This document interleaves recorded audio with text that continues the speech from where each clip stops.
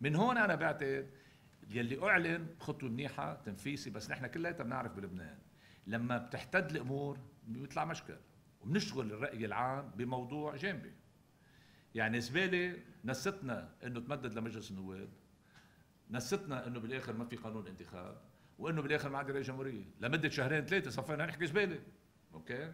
هلأ زبالة ما ترست وبعدنا نسينا زبالة لأنه هلأ في عندنا مشروع النفط.